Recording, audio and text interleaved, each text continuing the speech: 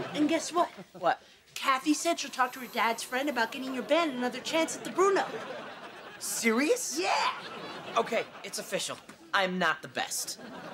You are. I try.